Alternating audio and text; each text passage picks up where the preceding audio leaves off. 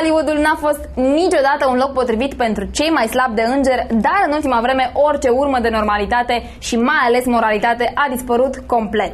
Nu trece zi în care să nu aflăm că o nouă vedetă a ajuns să fie la închisoare, fie la reabilitare, fie măcar pe prima pagină a tabloidelor, grație vreunui secret șocant. Chris Klein, cunoscut publicului din România, în special pentru rolul din American Pie, a ajuns întâi de două ori în arest pentru conducere sub influența alcoolului, iar apoi la dezalcoolizare, recunoscând că de mulți ani viața lui e de fapt vraiște. Și uite așa, imaginea lui de băiat bun s-a făcut țândă.